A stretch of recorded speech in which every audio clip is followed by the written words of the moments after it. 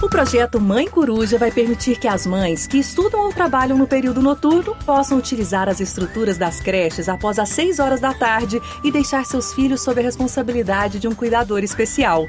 Isso vai evitar que mães adolescentes deixem a escola para cuidar dos filhos. E mais, vai acabar com os riscos de violência com as crianças que, durante a ausência das mães, que trabalham ou estudam à noite, são cuidadas por terceiros. O projeto de lei é da autoria do delegado Valdir. Sabe qual será o reflexo? Vamos garantir a permanência da mulher no mercado de trabalho e a sustentabilidade financeira das famílias com mais dignidade. Este é meu compromisso. Preciso de você. Juntos vamos passar Goiânia limpo.